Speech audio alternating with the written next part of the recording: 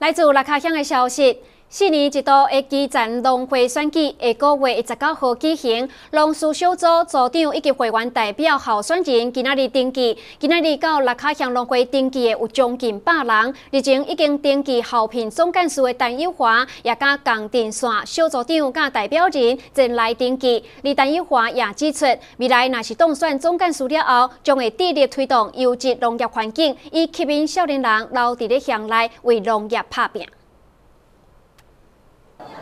四年一度的农会农事小组长会员代表今日开始登记，上午十点左右，六卡乡农会便聚集将近百人，各路人马支持者伫广场头前集合。依照人口比例换算，六卡乡农会农事小组长应选二十四名，会员代表四十五名。伫登记完成了后，将伫二十九号来选举。伫已经登记候聘总干事的陈友华也陪同江定山参选小组长加代表的候选人。来到农会登记。感谢咱六家乡，咱做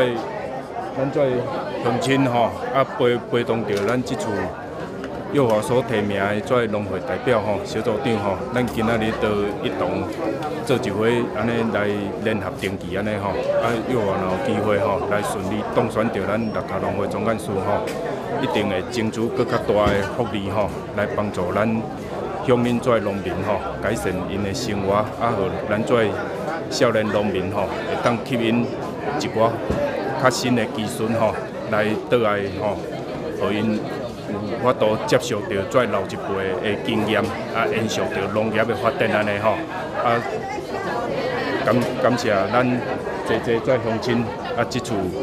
甲约华哦，斗斗三工安尼哦，感谢。